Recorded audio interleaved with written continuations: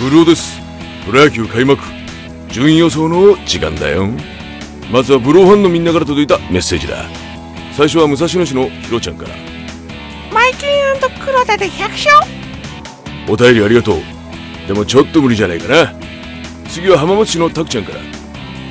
ヤクルトとても強くなってよ。そうだね。再開はもう嫌だね。東京都大田区の健一郎さんからは。打てる捕手梅野育てて虎10年反対。字余り珍しく自覚的じゃないな。いいと思うよ。ラストは東京都江東区の古健君から。